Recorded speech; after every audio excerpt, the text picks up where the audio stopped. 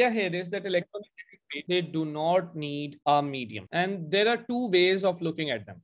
Basically, electromagnetic waves mein hota kya? You have an electric field and you have a magnetic field. Magnetic field is usually represented with the B and E is for capital E is for electric field. Now you have an electric field which is perpendicular to the magnetic field.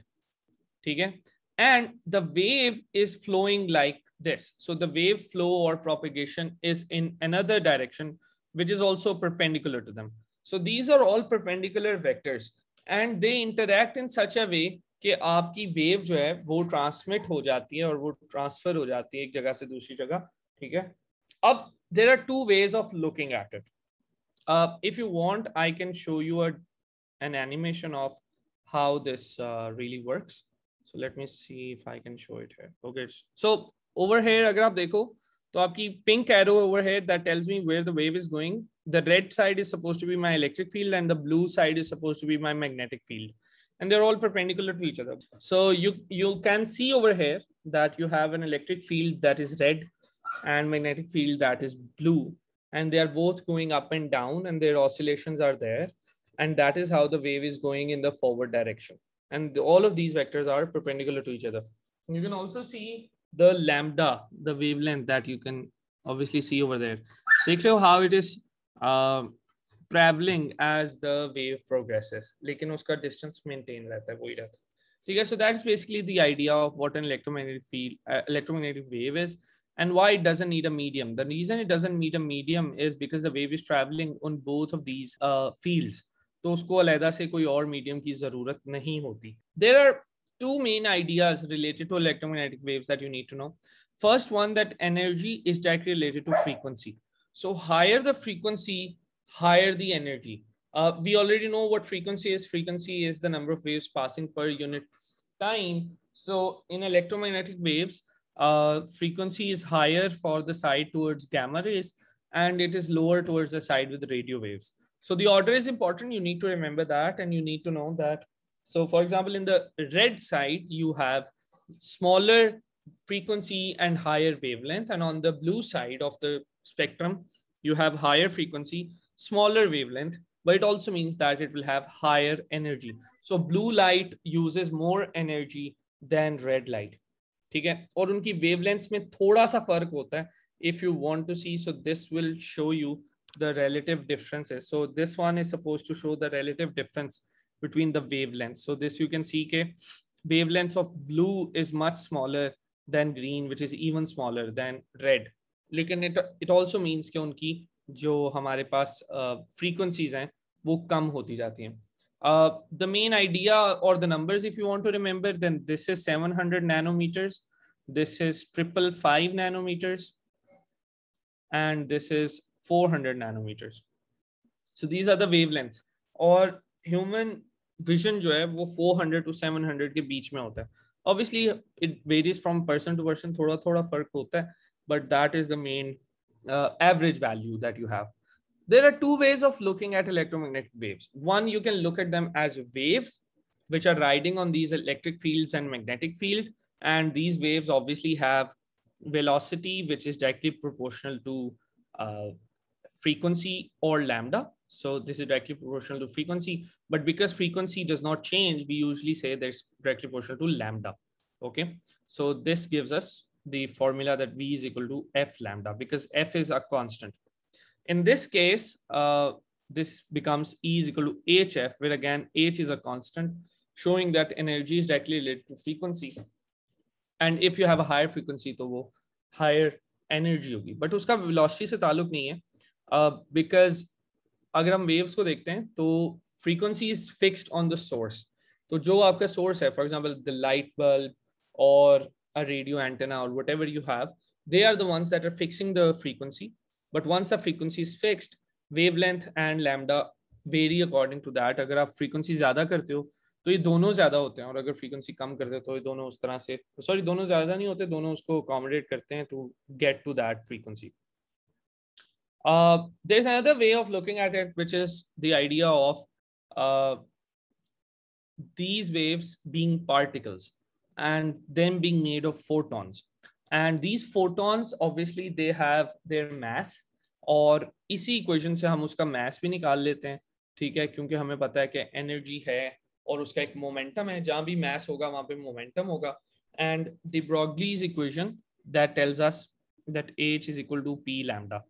and this equation is very very important when it comes to the idea of wave behaving as a wave, uh, as a particle in fact this is a cornerstone of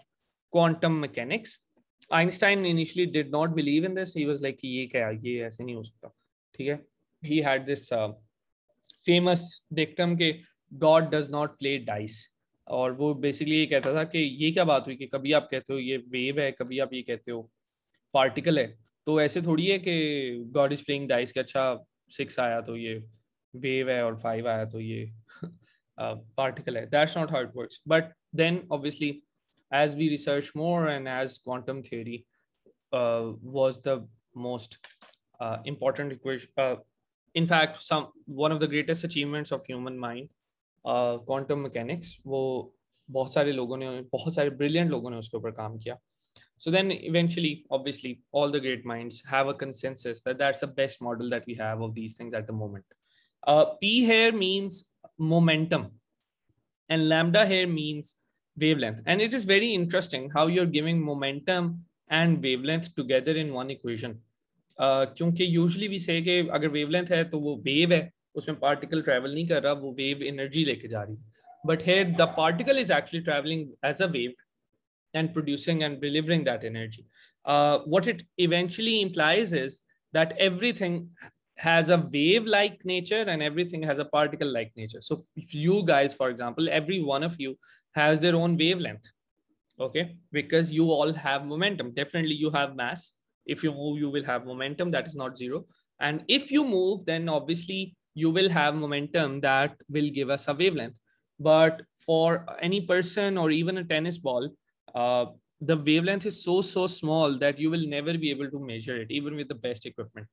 But for smaller particles like electron or uh, neutrinos or things like that, उनका momentum बहुत ज़्यादा होता है लेकिन उनका mess बहुत कम होता है और उनकी वेवलेंथ भी उसकी वजह से नज़र आती है and that is how we know that it works because अगर हम उसकी वेवलेंथ नहीं लेते तो इसका मतलब है कि we will not be able to fully understand what those things are made of in fact all particles that have momentum they also have a wavelength and uh, for smaller particles like electrons वो बहुत ज्यादा matter करता है that is why we usually say that electrons are they have this wave numbers associated with them और electron की exact position ढूंढना at the same time is quite difficult और if you know the position then you don't know the speed with that accuracy at the same time that's another very important idea in quantum mechanics i ramble a lot here but the main point that i'm trying to make is that electromagnetic waves are both wave and particle and that's a little difficult to rap our head around because हम तो चीज़ों को या wave समझते हैं या particle समझते हैं but for over hundred years it has been established के लाइट फॉर एग्जाम्पल्स वो उसका डुअल नेचर है it has both the qualities of particle as well as a wave and this is a very bold idea कि वो particle और wave दोनों है and simple सी बात है वो एक्चुअली में है हमारे experiments all of that they do show that it is something that we have established. Uh, one of the very important ideas here was Young's double slit experiment, आप A levels में करते हो. Uh, then theory of relativity that Einstein gave forward, वो भी सारी की सारी इन्हीं पे बेस है कि आप उसमें वेव पार्टिकल डुअलिटी को अगर इनकॉर्पोरेट करते हो then you get to a special theory of relativity. So it's a very active field of discovery and very interesting field actually. और उसमें जो आपके सिलेबस में काम की बात है वो इतनी सी है कि ये हमारे पास वेव्स हैं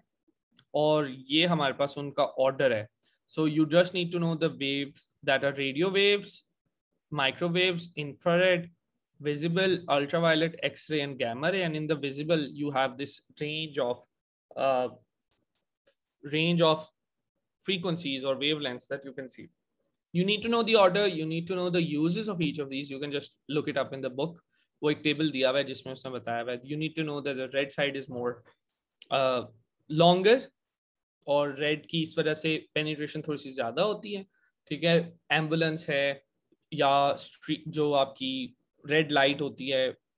सिग्नल uh, पे। They are all red because human mind has a tendency to notice red the best और मतलब सबसे ज़्यादा हमें नज़र आता है। उसकी वजह बड़ी सिंपल सी है कि रेड की वेवलेंथ इतनी ज़्यादा होती है वो बहुत दूर से नज़र आता है। Blue on the other hand उसकी पेनिट्रेशन ज़्यादा है उसकी एनर्जी ज़्यादा है लेकिन वो इतनी दूर जा नहीं सकता है। So blue colour is usually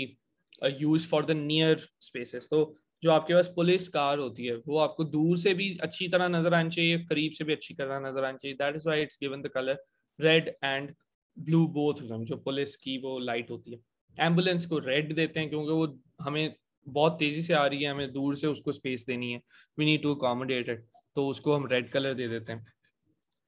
But interestingly, human eye has evolved to to see green color the best and green is the color जिसके सबसे ज़्यादा shades हम देख सकते हैं and it is not really a surprising thing because green is in the middle of this spectrum the visible spectrum that we have so हम green को no wonder कि we work best in the average ठीक है so average हमने अच्छी की हुई है and we are a little rusty on the sides so that's how human eye has developed so that is the thing uh, हमारे पास ये order है अच्छा एक और चीज़ जो आपने याद रखनी है when it comes to refraction I don't know what's with coco today या so that's with refraction is that the higher the frequency the greater the refraction so उतना ज़्यादा वो वेव बेंड होगी, जितना ज़्यादा उसके अंदर फ्रीक्वेंसी होगी. So blue side will refract the most and red side will refract the least तो जब आपके पास for example you take a prism and in that prism let me see if I can find a picture online uh, prism में से अगर आप light pass करते हो तो blue light is refracted the most ठीक है and red light is refracted the least so this is supposed to be a crude picture this is from Britannica ठीक है so yeah so you can see over here that when it enters the prism it splits up